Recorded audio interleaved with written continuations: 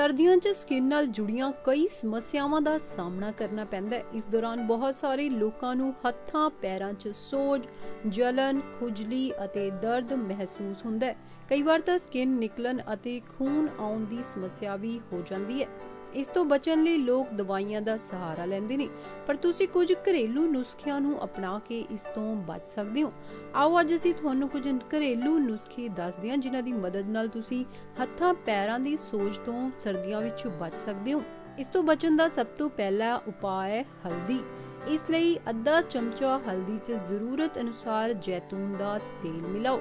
ਤਿਆਰ ਪੇਸਟ ਨੂੰ ਪ੍ਰਭਾਵਿਤ ਥਾਂ ਤੇ ਲਗਾ ਲਓ। ਤੁਸੀਂ ਇਸ ਨੂੰ ਸੌਣ ਤੋਂ ਪਹਿਲਾਂ ਵੀ ਲਗਾ ਸਕਦੇ ਹੋ। ਇਸ ਨਾਲ ਪੈਰਾਂ ਦੀਆਂ ਉਂਗਲੀਆਂ 'ਚ ਸੋਜ, ਜਲਨ, ਖੁਜਲੀ ਅਤੇ ਦਰਦ ਦੀ ਸਮੱਸਿਆ ਤੋਂ ਰਾਹਤ ਮਿਲਦੀ ਹੈ। ਦੂਸਰਾ ਉਪਾਅ ਹੈ ਸਰੋਂ ਦਾ ਤੇਲ। ਸਰੋਂ ਦੇ ਤੇਲ 'ਚ ਮੌਜੂਦ ਐਂਟੀ ਫੰਗਲ, ਐਂਟੀਬੈਕਟੀਰੀਅਲ ਗੁਣ ਉਂਗਲਾਂ ਦੀ ਸੋਜ ਖੁਜਲੀ ਆਦਿ ਦੀ ਸਮੱਸਿਆ ਨੂੰ ਦੂਰ ਕਰਨ 'ਚ ਮਦਦ ਕਰਦੇ ਨੇ। ਇਸ ਲਈ ਸਰੋਂ ਦੇ ਤੇਲ ਨੂੰ ਹਲਕਾ ਗਰਮ ਕਰਕੇ ਸੌਣ ਤੋਂ ਪਹਿਲਾਂ ਪ੍ਰਭਾਵਿਤ ਥਾਂ ਦੀ ਮਸਾਜ ਕਰੋ। ਇਸ ਤੋਂ ਬਾਅਦ ਜ਼ਰਾਬਾਂ ਪਾ ਕੇ ਸੋ ਜਾਓ। ਇਸ ਉਪਾਅ ਨੂੰ ਕੁਝ ਦਿਨਾਂ ਤੱਕ ਅਪਣਾਉਣ ਨਾਲ ਤੁਹਾਨੂੰ ਸੋਜ, ਜਲਨ, ਖੁਜਲੀ ਆਦਿ ਸਮੱਸਿਆ ਤੋਂ ਰਾਹਤ ਮਿਲੇਗੀ। ਤੀਸਰਾ ਉਪਾਅ ਹੈ ਪਿਆਜ਼ ਦਾ ਰਸ। ਸਰਦੀਆਂ 'ਚ ਹੱਥਾਂ ਤੇ ਪੈਰਾਂ ਦੀਆਂ ਉਂਗਲਾਂ ਨਾਲ ਜੁੜੀਆਂ ਸਮੱਸਿਆਵਾਂ ਨੂੰ ਘੱਟ ਕਰਨ ਲਈ ਤੁਸੀਂ ਪਿਆਜ਼ ਦੇ ਰਸ ਦੀ ਵਰਤੋਂ ਵੀ ਕਰ ਸਕਦੇ ਹੋ। ਇਸ 'ਚ ਐਂਟੀਬਾਇਓਟਿਕ ਅਤੇ ਐਂਟੀਸੈਪਟਿਕ ਗੁਣ ਹੁੰਦੇ ਨੇ।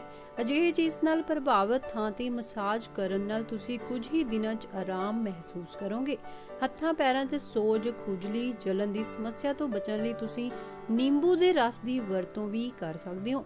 ਇਸ ਲਈ ਨਿੰਬੂ ਦਾ ਰਸ ਕੱਢ ਕੇ ਪ੍ਰਭਾਵਿਤ ਥਾਂ ਦੀ ਮਸਾਜ ਕਰੋ। ਕੁਝ ਦਿਨ ਇਸ ਤਰ੍ਹਾਂ ਕਰਨ ਨਾਲ ਤੁਹਾਨੂੰ ਦਰਦ, ਸੋਜ ਆਦਿ ਤੋਂ ਰਾਹਤ ਮਿਲੇਗੀ। ਨਾਲ ਹੀ ਸਰਦੀਆਂ ਵਿੱਚ ਹੋਣ ਵਾਲੀ ਖੁਸ਼ਕ ਚਮੜੀ ਦੀ ਸਮੱਸਿਆ ਤੋਂ ਵੀ ਛੁਟਕਾਰਾ ਮਿਲੇਗਾ। ਚੜ੍ਹਦੀ ਕਲਾ ਟਾਈਮ ਟੀਵੀ ਬਿਊਰੋ ਰਿਪੋਰਟ।